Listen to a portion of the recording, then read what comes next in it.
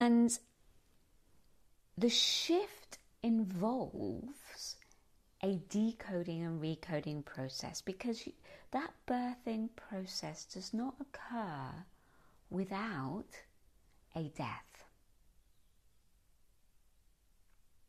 It's, it's, it's universal law. There has to be a death. And what I mean by a death is a letting